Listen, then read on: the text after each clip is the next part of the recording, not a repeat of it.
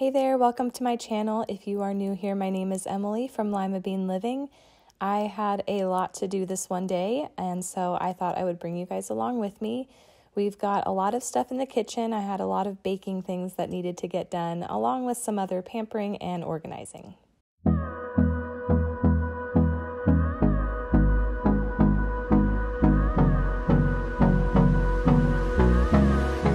So, the night before, I actually prepped all of my ingredients just to kind of make life a little bit easier. I do have an almost three year old who keeps me busy. And so, in the case where I wasn't going to be able to have my parents help watch her, I wanted to make sure that all of the ingredients were measured out so that she could help me pour them in the bowls and mix them. And I just wouldn't be stressing over you know, miscounting or forgetting an ingredient or anything like that. Luckily, I was able to have my mom watch her for most of the day when I was baking, so I didn't have to really worry about that. But this is also just very helpful if you aren't sure you have all your ingredients or you're not sure if you have enough. That way, you don't mix anything and then realize that you really can't finish your baking.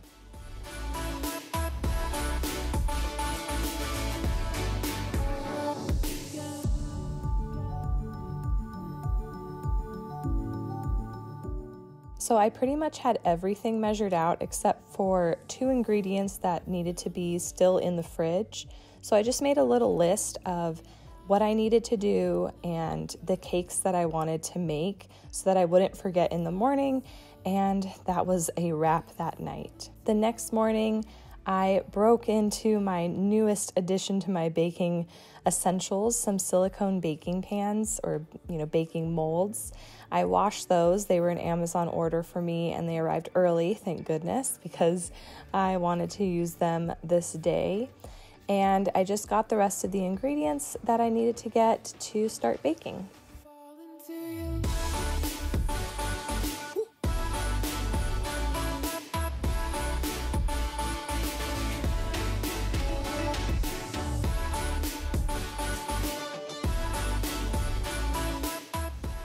So, this cake that I'm making here is actually one that I've shared on my channel before in a straight recipe video. It's like three minutes long, and they are these chocolate cheese chip cupcakes. So, it's like a chocolate cake with a cream cheese chocolate chip mixture that goes on top, and it is such a yummy recipe.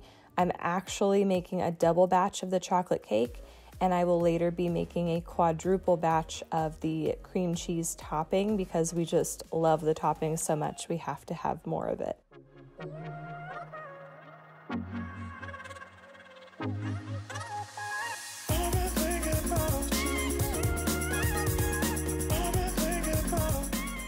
In addition to making cupcakes, I decided to use the chocolate cake batter to make a 9 inch cake because I had a mishap so, a couple videos ago, I shared how I was making my favorite chocolate cake, and I was making like a quadruple batch of it and storing some layers away for when I would need it next.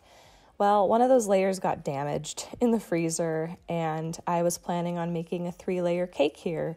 So I needed to replace that missing layer. So I figured, well, I'm making a chocolate cake anyways. It's not the same chocolate cake, but it will do. So that is why I am making a nine inch cake round there. And I'm using my small molds to make a personalized mini cake for my niece for her birthday instead of just giving her a plain old cupcake.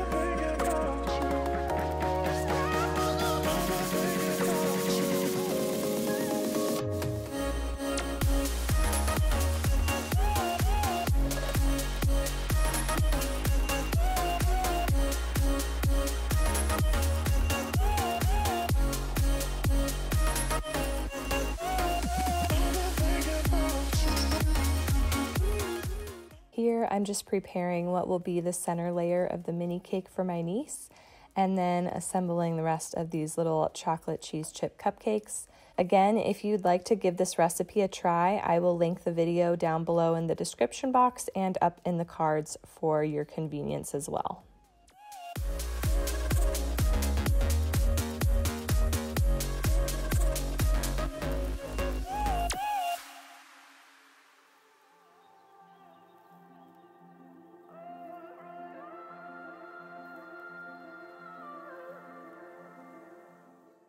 I was so excited to get these little molds um, just because they're adorable and small, but also it makes it easier to really kind of trim off the tops and makes them nice flat layers, which is something that was great. And they also pop out really easily out of the molds as well.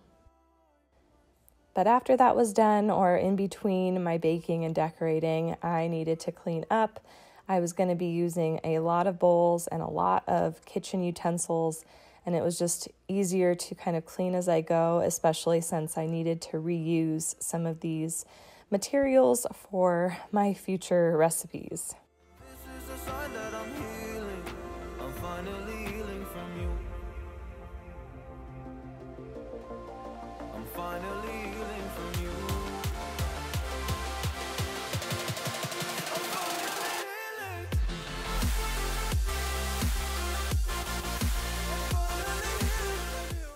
But before I started cake decorating, I went ahead and made myself a little coffee smoothie using this Caffe D'Vita mocha mix. I think you can get it at like Winco or Costco. This big one is definitely from Costco. I've also seen it in Walmart. I really love this, and I, it's something that I kind of still enjoy while pregnant, even though I'm kind of not drinking my espresso drinks. But I wanted to have something that would make my cake decorating even more enjoyable, especially if it didn't go as planned.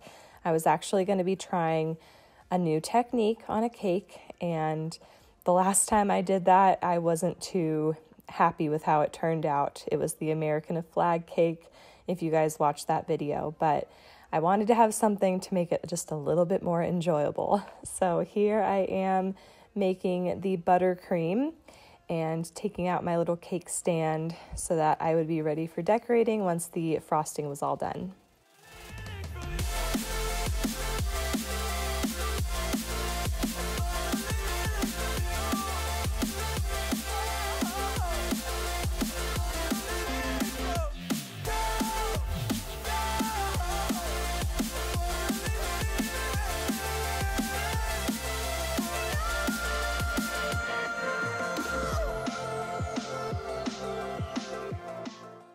So this frosting was a little soupy because it was warmer in our house. So that went in the fridge and I just used a little tiny bit of it to assemble my niece's birthday cake.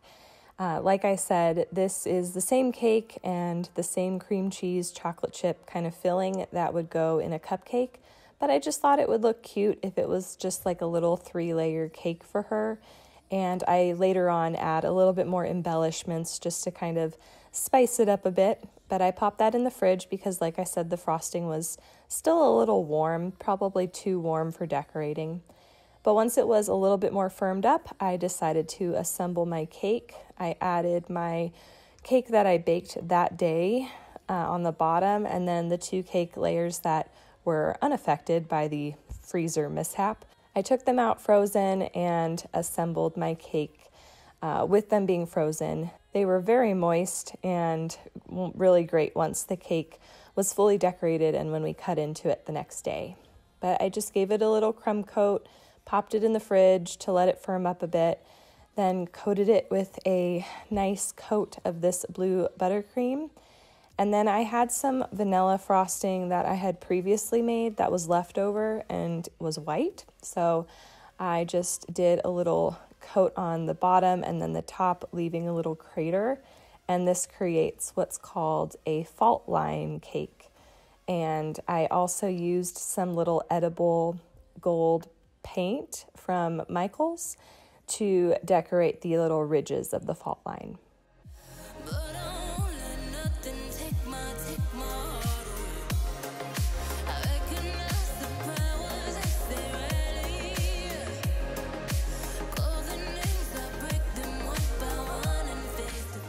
But before I went ahead and painted the little edges of the fault line, that had to go back in the fridge to firm up. And this wasn't planned, but I ended up making some little vanilla cakes for what you could say is in my first order as a little baker. Uh, I have a friend whose uh, granddaughter was turning one and they wanted a little smash cake, and I was like, I can make that. So this was the final results. I was really happy with how it turned out. It was a fun little cake to make. But, anyways, back to the fault line cake. Uh, here's the little paint pen. I did twist it open over a little bowl because I read some reviews where the edible paint just like totally spilled out, so I didn't want to have a mess. But for me, this worked out really well. I was a little not too impressed with the gold color. I think it looked a little too yellow orange. It was too bright for me. I think I was hoping for something a little bit more subtle, something like a gold leaf look, but it's all okay. It worked out in the end.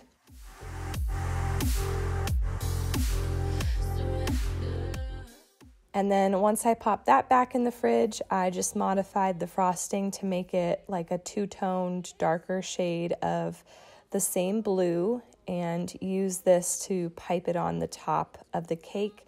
I'll show you guys my little inspiration photo here. I didn't have all the extra embellishments to do what they did on top, so I just kind of kept it simple and piped little dollops on the top all the way around and then filled in the little crevices between each dollop with some more white frosting.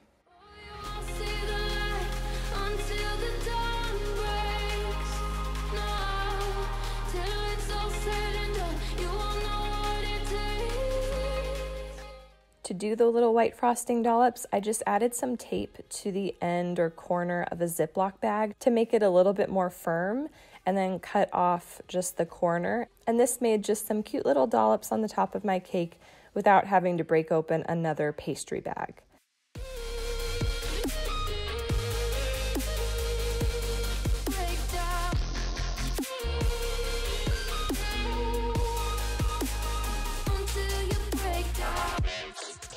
But the next day, this is what the cake looked like when we cut into it. It was delicious. Everybody loved it. You can definitely tell there's two different types of chocolate cakes, but that's okay.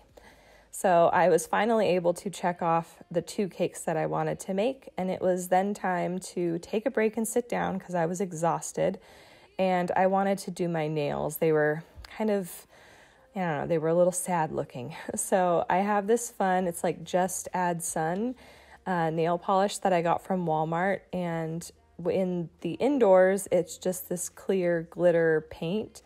But you'll see in a second when I walk outside, it does turn like a pinkish red. And I only used one coat, so I'm assuming that if I added a second coat, it would be slightly more opaque.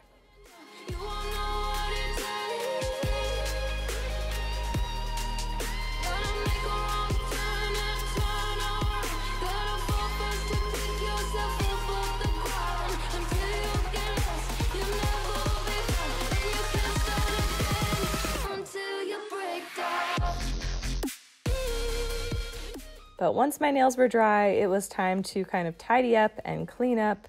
Aubrey was trying to help me, and then she just wanted to get into everything, so that made it a little bit more difficult. But I tidied up as best as I could with her distracting me and shoving packing bubbles up the back of my shirt. And then once that was done, it was time to get some footage for my crafting channel. I had been meaning to film a little measurement uh, clip because I'm going to be making faux leather utensil holders. So I needed to film that. I put Aubrey to bed, and then it was time to clean up her disaster of an area with all her toys. So I organized that, and it took a little while, but it was nice to just kind of, for the most part, sit down and tidy.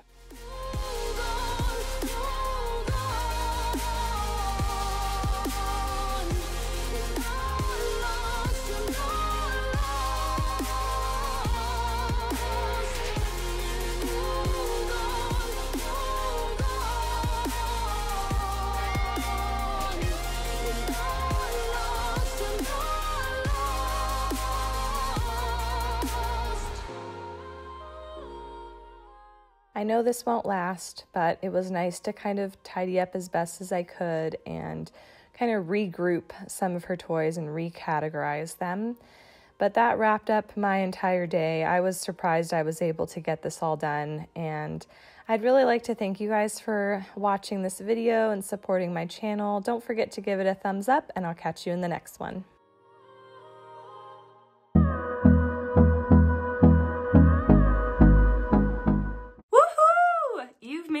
End of the video. If you didn't know already, every Monday and Friday, you can find motherhood and lifestyle content on this channel. And since us moms have to do it all, that may mean yummy recipes, easy DIYs, mom hacks, cleaning and organization, or just a combo of everything. Please know that you are loved and you are made for greatness, and I will catch you in the next one.